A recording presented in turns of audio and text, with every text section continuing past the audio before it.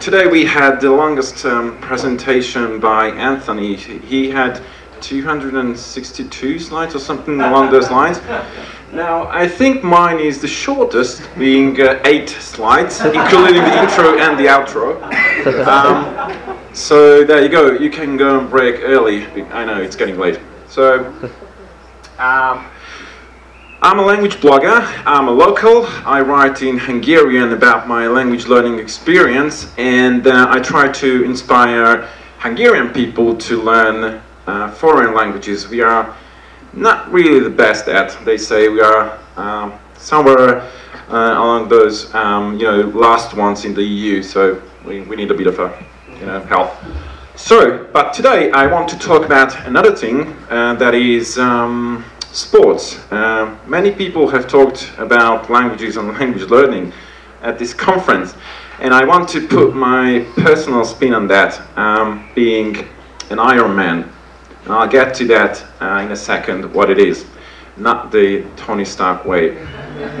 so, um, the Ironman is the one of the toughest competition, sports competition in the world.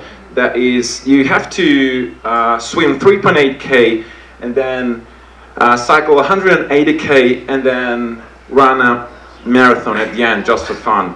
And uh, that you have to do it in 16 hours. And um, yeah, in one day. So, and I had exactly 10 months to do to prepare for that from scratch. And when I say from scratch, I think that redefines the English phrase starting from scratch because I was baby on that. So, um, and why I want to talk about this because along those uh, 10 months I found I found out a lot of things about myself and motivations and goals. So, and I want to just do a bit of analogy between language learning and sports. And not just in a way that, uh, you know, if you do sports, then you're going to live longer. Okay. Okay. Okay, well, um, the first thing that I learned from sports is shifting the focus is crucial, at least it was for me. Um, from sports. Um, two years ago, uh, when I signed up for the Ironman, um, yeah, I, my story starts where I, I was always overweight. Um, I wasn't fat, but I was constantly mocked by my friends. So um, I had been trying to lose weight in my whole life, and I, you know, believe me, this is not going to be a pitch about, you know, buying those lose weight um, pills. But um, so when I tried to focus on something that was very negative, losing weight, uh, it didn't really work. I tried every kind of diet, didn't really work, and, and at least didn't get permanent results. And one day, um, actually, many of my friends had finished Ironman, and I thought that, okay, how about if I just switch, uh, yeah, switch my focus to something, from something very negative to something awesome, become an Iron Man. And that worked, because by the time I'd be an Iron Man, I probably would have a decent body. So um, the goal was uh, becoming an Iron Man and uh, just finish that alive, and it worked. So from the language uh, perspective, uh, with German, uh, I, in Hungary, you, you have to, um, yeah, you have to uh, learn German at primary school, and um, we, they tried to teach you, but um, we are very good at resisting and we're not really, it didn't really work. And, um, and um, so up until this January, I, I didn't really know German. And um, on the 7th of January, I thought, okay, um, I'm gonna just have a better focus that is going to Berlin and have a blast instead of, you know, I have to learn German. I don't have to. I just want to go to Berlin and have awesome beer with my cousin and her friends. And this was actually the goal. I didn't really care about anything else. And that happened, and it was awesome. Uh, and that, was, that project was actually inspired by Benny, and that happened in 90 days. Um, I'll tell you a bit uh, later about that. Okay, this thing doesn't seem to work from afar. Okay, the second thing was um, that got me thinking was getting rid of the responsibility and why is that good? Um, it at first it might sound uh, interesting, but when you remove yourself from the cycle of um, responsibility, then you don't have the chance to go back. Then you have to achieve that goal. And at sport, like what like that, I signed up for the Ironman. That was a painful um, process itself because it cost more. Uh, it's about two hundred dollars in Hungary, and it's a lot if you live in Hungary. Um, and I announced it to my friends and my family. Um, my father's exact words were, "You're crazy, son." Uh, thanks for the encouragement. Um, and then I just designed a roadmap for the next 10 months. So basically I did a training, I don't know, plan for day by day. And um, this actually got rid of the responsibility because every day I woke up, I knew exactly what I had to do. And I just needed to follow. I didn't have the responsibility to go back because I burned the bridges. So by the same analogy, uh, with languages, um, just stick to German. Um, on the 7th of January, I announced it on my blog that I would uh, learn to a decent level German um, in 19 days, 90 days. And um, then on the very same day, I booked the flight ticket to Berlin. And that was it. And that was a pain because they charged the wrong credit card and stuff like that. But thanks Lufthansa. And, and then what I did was just write up a 90 day battle plan. So day by day, I knew what I was going to do. So I didn't need to think. The responsibility wasn't with me.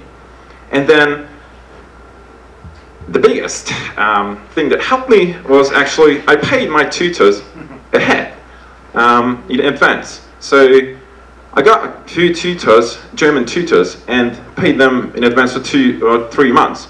And then in that way, I didn't have didn't have the chance to go back because then I would lose money. So they, they would have to deal with me day by day. And that, that's it. The responsibility wasn't with me. Um, and that kept me on track.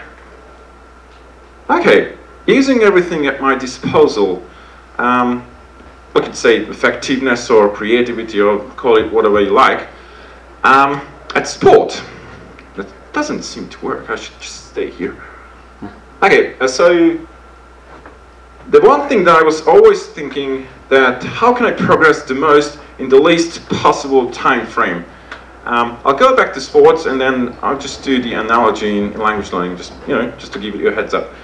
Um, with sports, uh, Ironman requires intensive training, at least six times a week, but that just gives you the swimming, uh, running, and cycling part. But also to, to finish a 16 hour race, you have to have a very strong skeletal muscle system. And for that, you have to go to the gym, which I hate. And I don't have time for that. So what I did was, I found out push-ups are really good for improving your skeletal muscle system. So um, I'm an interpreter um, and translator. I work from home. So every time my computer hanged or I downloaded something, never happened. Uh, every time um, something like happened, something might happen, then I just got down on my knees and did five push-ups, and that's it. 10, 20 seconds, and then got back to work. And uh, by the end of the day, I was able to do 50 or 60 push-ups, and that was it. That was enough to develop uh, strong enough um, skeletal muscle system. And that's it. I didn't have to go to gym. So when it comes to languages, I, I try to find these uh, small things that add up and uh, make your learning a bit more efficient. Um, the one, one of the biggest was for me to find the ideal study time. Uh, I was an night owl, but lately I just uh, got to a routine when I have to get, get up at early, uh, 6 or 6.30. And I found that after two coffees, I'm ready to go. And I, I just, you know, sit down and learn for an hour, and then I open my email, but not before that. So first thing in the morning, what I do is learn. And then after meal, after lunch, we, we tend to eat a big lunch in Hungary. After lunch, um, I had my um, speaking practice with my tutors. and then I went to bed. Um, that's actually the third. Okay, so I went to bed after the practice sections, so I would have a little power nap. That was 15, it's about 15, uh, 20 minutes, and uh, that is for to consolidate the learned stuff uh, better. I know that Benny is a big fan of that, and um, yeah, it, it, it, does work. So these small things, uh, flashcard apps. I'm pretty sure many of you know those. Um, Anthony said that. I'm not a big fan of Anki. Um, People who only use it. Yeah. Okay, fair enough.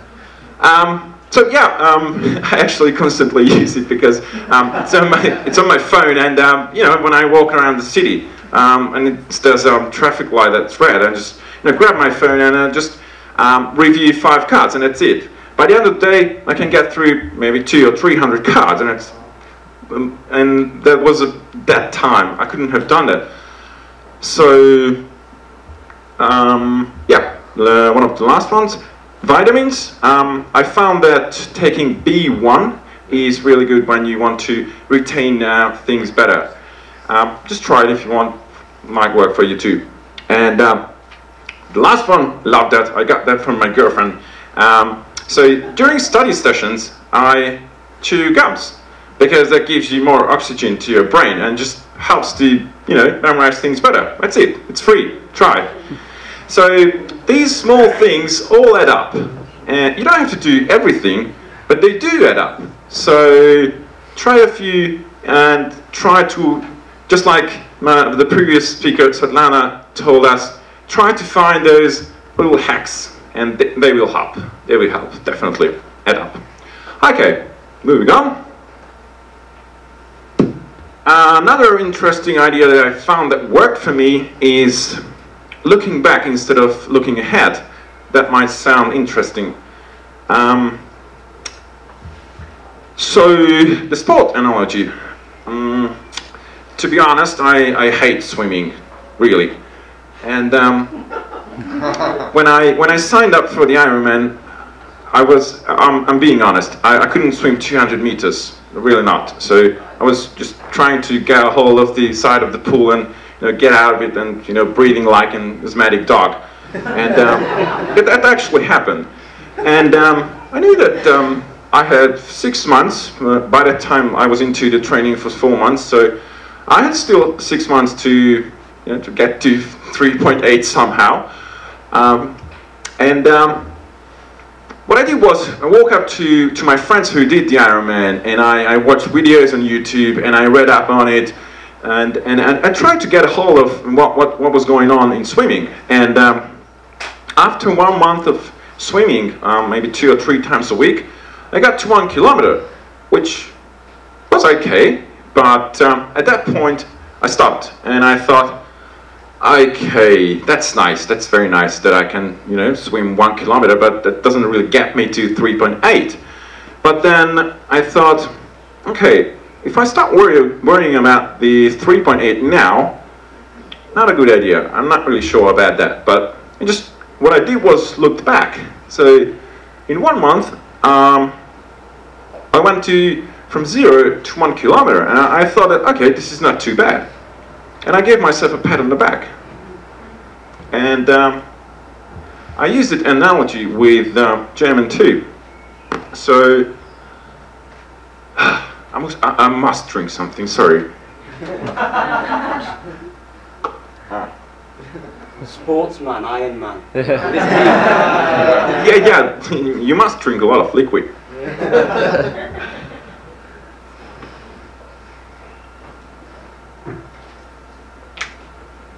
Okay, so, uh, the thingy, sorry.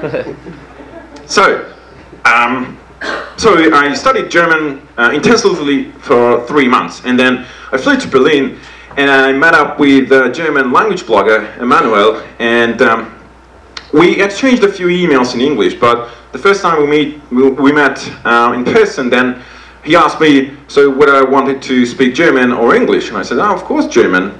And so we went to a pub, surprisingly, and then we had a three-hour conversation in German. Well, At least he was having it. I, I was struggling. but I was thoroughly enjoying my struggles. And um, on the way home, completely sober, um, on the bus, I flipped up my phone and I thought, I'm so into German now, I'm going to improve it right now. So I started to read a book, uh, an e-book on my phone, and I can't even remember what the name was. And I opened it, the very first page, and uh, okay, I don't, I don't really understand what's going on in this book. Um, but shit, I don't know German. And um, okay, this is a very similar situation to my swimming. So I stopped right there, completely sober, and uh, I thought that okay, there's plenty ahead of me in German. I certainly couldn't, you know, discuss microbiology, that's for sure. But if I look back, in three months, what I achieved, what I achieved it's not too bad. I, I had an awesome conversation, spontaneous conversation with, with a native speaker, and uh, that was awesome. And I, I stopped and I gave myself a pat on the back. So, yes, I, I encourage you to sometimes just, you know, stop and stop worrying about what's ahead and just give yourself a pat on the back. Uh, and the last take, and then you can go and break, uh, was from the Ironman for me. So I'll now go back to the sports analogy again, uh, that this is not a competition. Ironman was really not. I was surprised, and I only learned that at the competition. So uh, imagine 500 people there, and no one was racing for the first position. They were all friends. They were all supporting each other. I, I couldn't believe it. I was, I was riding on my bike and the pros were passing by. And they, they turned and they smiled at me and they said, good job, keep up. And okay, what was that? And after the next turn, one of them just gave me an energy bar because they saw me that I struggled as shit. And, I was struggling. And in, the, in these hours of hell, know, they just gave you a smile and, and that kept you going. So they really supported each other. And um, they were there to help. So no one was racing. And this is awesome, I think. By the same analogy in language, uh, so when it comes to anything, I'm kind of a do-it-yourself guy. I don't really like to, you know, rely on others. I'm not really a team player. And um, you know, but I started learning Spanish, and I you know, bought these courses and books, and I just thought that, okay, I'm going to close the door of my room, and then two years later, I'm going to come out as a, no, I'm going to come out as a na na nearly um, native speaker, which presumably didn't really happen. And uh, then, then I thought, with German, I needed a different approach. So that's why I actually got into the community and I tried to find help and I asked for help and they gave me. And uh, we tend to forget that uh, languages are a community sport. So we can't, by definition, we can't do that by ourselves. Uh, that was a big revelation for me because, you know, I didn't really like the idea that there's something that I can't do. And um, this is why I think these conferences are awesome and thank you Richard and Luca for organizing the whole event. Because uh, what we can do here is, uh, you know, just get the word out and encourage each other and encourage others who are not that big fan of languages to learn more languages. And um, I think that's the biggest take. And uh, my last founding was um, when it came to language learning as sport that they are just like sex. Um, it's okay to do it by yourself, but it's much better to do it with others. Thank you.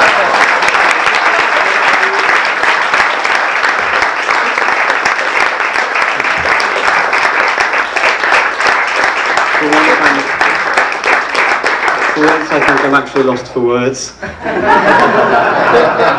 what said the people? Uh, dare I say what you said about languages? No, I'm not going on record. Please switch the camera off. Can, can I? Can I? I, I, No, I okay. don't even know what's going to come out of your mouth. I'm pretty sure you do. That that guy there said that languages are my bitches. allegedly, allegedly. Sorry, man. They also say that I'm a language whore. Basically, yeah, I pimp myself out to different languages. now, I hope you've got some really awful questions for him. Ask anything you want, embarrass him, do whatever you want, and all this will be on camera. Thank you very much. Just for my benefit. Love you. Who's first? Thank you. Come on, you've really, you've got to destroy this guy.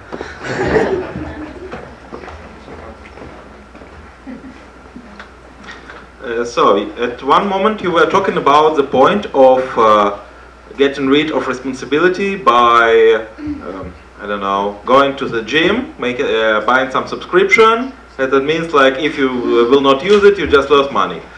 Uh, but we all know that actually, not only in the language courses, but at the gym too, there are people who buy uh, subscription, go there just one, two, three times, and then forget it. Uh, so of course they kind of understand they lose money, but then they, yeah, talking from my personal experience, like okay, that's not that big money, and I'm too lazy, I don't have time now, and okay, let's do it right next time, blah blah blah.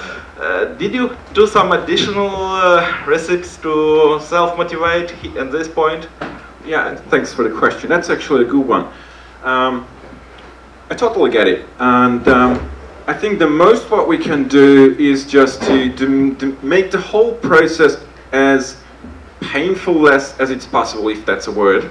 Uh, because with the with the battle plan, I, I what I did was that um, I wrote it up ahead, so I don't I didn't have to think every day. "Mm, What should I do today?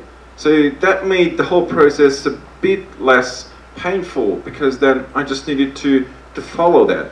And I think the point is that everyone has to look from the perspective that how can I make the whole process less painful? And it's just my way of going. Um, you might have your own take, but um, I think that that was a, that was that was the big one for me. Like you know, just designing ahead, and that kept me on track. Does it answer your question? Yeah, thank you. Thank you. Hi. Hi. Uh, so, because Richard uh, said to ask you embarrassing questions, I will I will ask you a question. I Uh, I was asked. I was asked myself many many times. Uh, so people ask my me uh, many times. Okay. Uh, so how many languages did you learn through girls, and how many girls did you get through languages? Uh, the last time I was counting, it was about three thousand ish. That's Um, just on the endangered list, isn't it?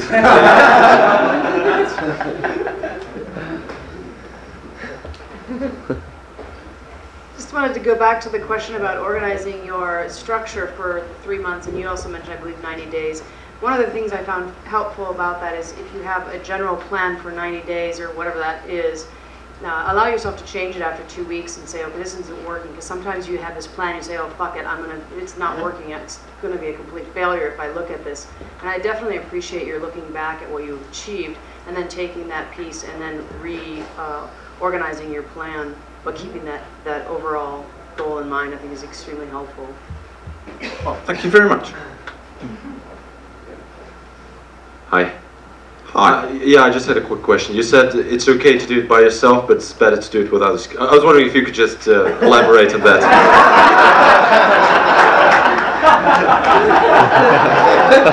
Once again, what, was that inspired by Richard? I have a halo around my head. Uh, for, for now, I'm, I'm speechless, just like Richard was. That's a first. Hi, I'm curious. Have you Damn found, you, Richard. so for your future sports and languages, are you going to combine them at all? I know for me, one of the things I do is I watch my telenovelas, my Mexican soap operas at the gym, and it actually it's a motivation to go to the gym. Good one. my second question is, is how did the Ironman go for you? I I managed to survive. Thank you. Um, well, I finished it in 15 hours 30 minutes. Yes.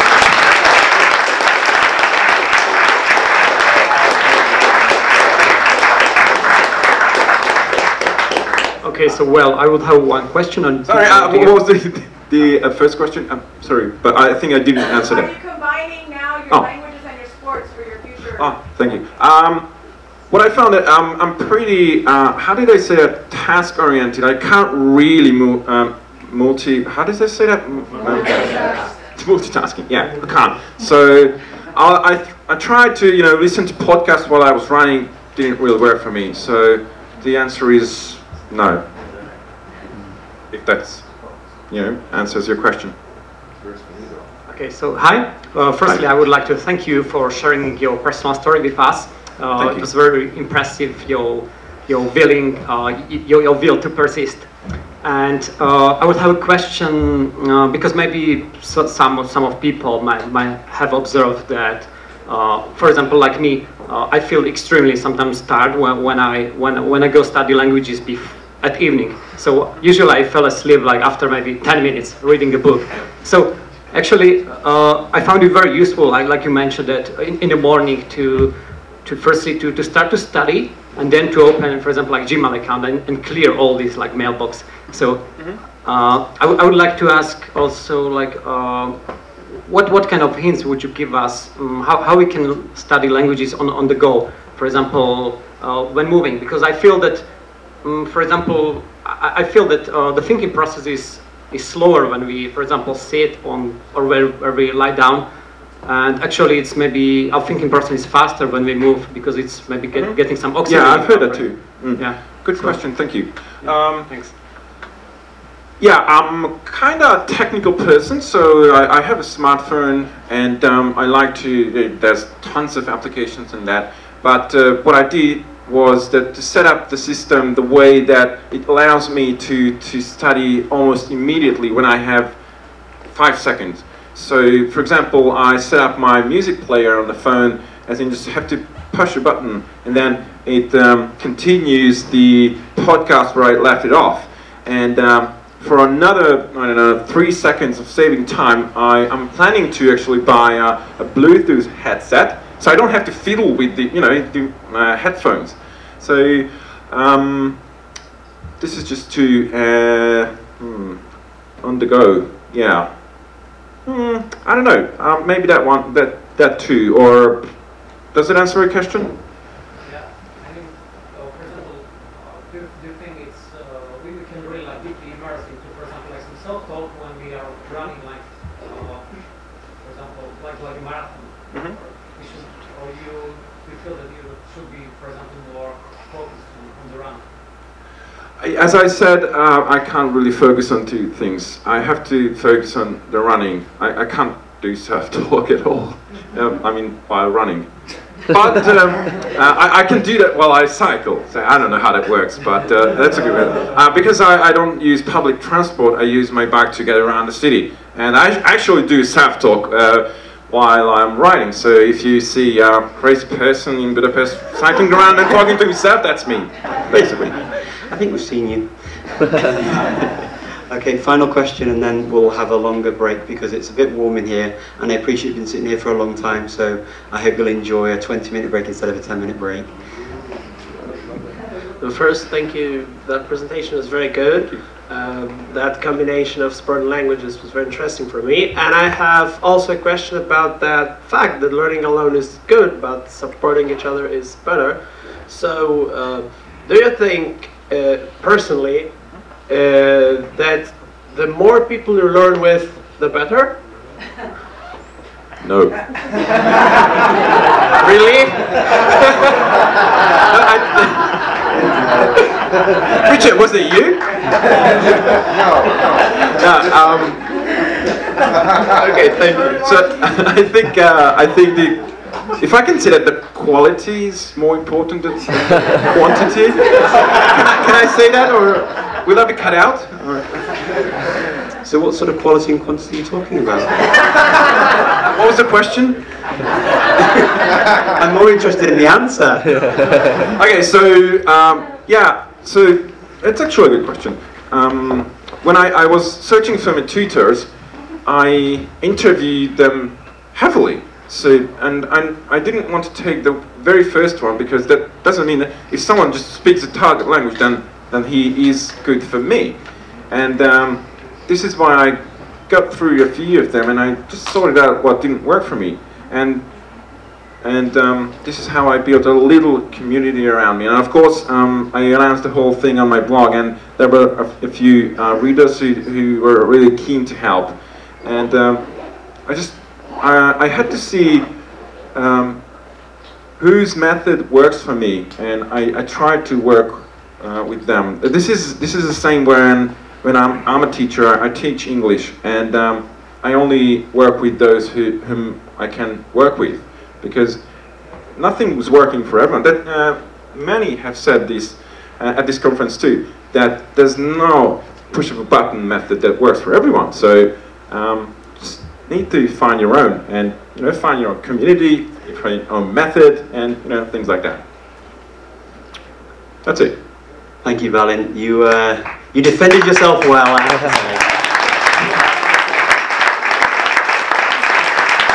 You were a fair enemy.